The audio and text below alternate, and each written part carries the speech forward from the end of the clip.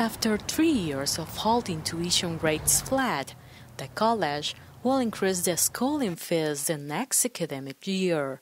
Barbara Larson, JCCC Executive Vice President, states it will be a modest raise. Um, we don't believe that these modest increases will influence enrollment decisions, and that's why we want to make sure that we don't have large spikes in tuition, but really consider very moderate planned increases. On the other hand, some people indicate this change could decrease the school population.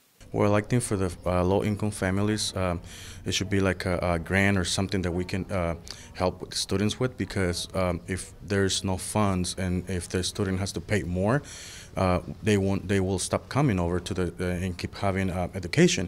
People should be able to come to a college that is cheaper.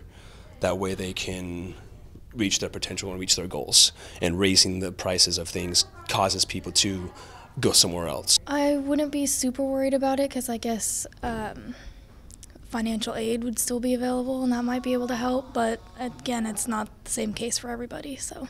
I'm not all that concerned about it. I mean, it doesn't sound like too much of a big raise, and I know that there are like some lower income students who might be um, worried about it, but I think the college does have a lot of good um, financial aid pr- programs. The increase will not um, affect their financial aid at all.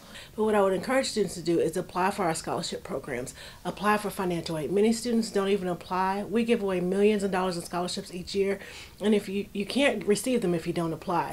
However, the Student Senate voted to not oppose the increase. As Student Senate, we voted to not um, be opposed of the tuition raise. Uh, is how we is how we've worded it. Just because it's kind of it's already in action. It's basically it's already in their planning, even though it's only going to get confirmed in May. For the Campus Ledger, Paloma Martinez.